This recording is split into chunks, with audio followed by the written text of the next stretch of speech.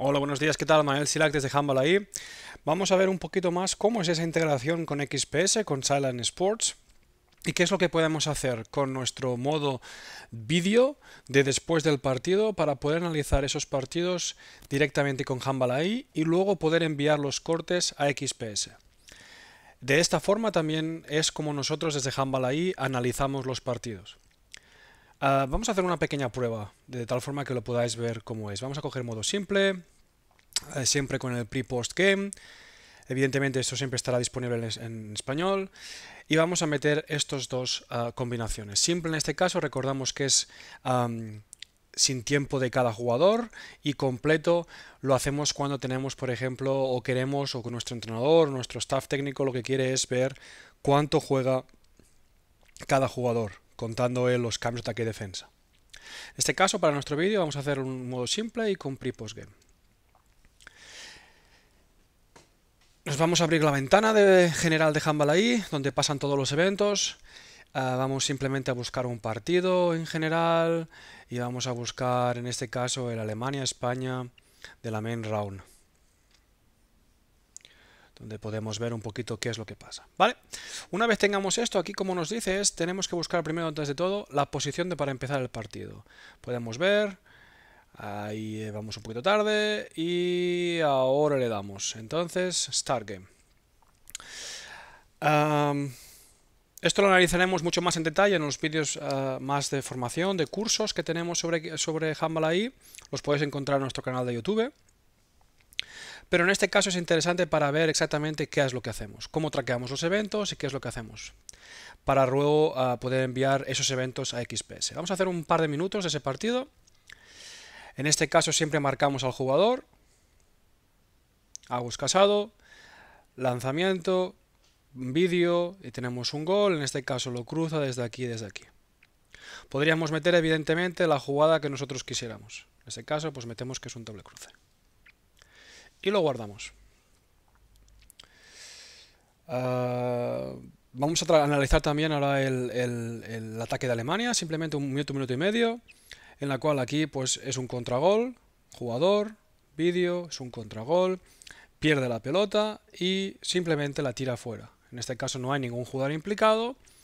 Execute position es desde donde se realiza esa posición, en este caso se realiza desde 9 metros a la derecha y sin ningún tipo de uh, jugada detrás. Lo podríamos incluso analizar con el replay vídeo si quisiéramos. Y lo guardamos. Fantástico. Ahora vamos a analizar un otro evento, en este caso contraataque.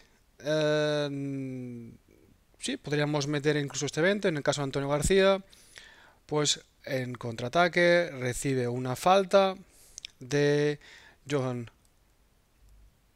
Gola. Y en este caso, pues pasa aquí. ¿Vale? Ya tenemos aquí, vemos cómo los eventos se van cargando. Estos eventos siempre los podremos repetir, o los podemos editar o eliminar. Y ahora el último evento que vamos a traquear va a ser esta falta pues, que le pasa a Antonio García con Fabián Vida. Pues Antonio García otra vez, falta con Fabián Vida desde aquí. Vale, fantástico. Vamos a parar el vídeo porque hemos hecho simplemente 4 o 5 4 o 5 ejemplos en los cuales nosotros podemos seguir después traqueando todo el partido entero. Acabaríamos la primera parte, buscaríamos el, el, inicio de la segunda parte, daríamos otra vez al start y luego cuando acabamos el partido le damos a endgame. Fantástico. Entonces, ¿qué tenemos aquí? Tenemos, como podéis ver, esta es nuestra cuenta de pruebas. Hemos hecho varias pruebas con Alemania y España. Y en este partido de hoy lo que hacemos es lo enviamos a XPS. Una vez lo enviamos a XPS, nos aparecerá un pop-up que nos dice perfecto, se ha enviado en XPS y el partido ya lo tenemos en XPS. Así es como nosotros traqueamos todos los partidos uh, después de que hayan sucedido, tanto con unas Oval Stats como con otras ligas que tenemos. En la actualidad, todas traqueadas con AI y XPS. Ok, una vez enviado el partido a XPS, vamos a analizar un poquito no solamente nuestro partido de prueba, sino que vamos a ver un, partido que tenemos analizado ya de la Liga Sobal. En este caso siempre es muy, un, pequeño, un pequeño training para lo XPS, simplemente veríamos los diferentes eventos, Y aquí tendríamos el partido en sí. Por ejemplo, si quisiéramos ver este gol de Paul Valera, lo, lo clicaríamos, hacíamos clic aquí y luego en el vídeo pues veríamos el resultado de ese corte. En este caso, pues aquí tenemos el gol de Paul Valera. Y aquí continuarán pues, los diferentes eventos.